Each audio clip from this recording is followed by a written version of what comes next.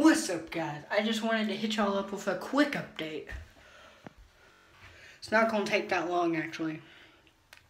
But the update is we have lost a member of Nang Gang. That member is Alex. Alex has quit. I don't know why. He will still be in videos though. But yeah.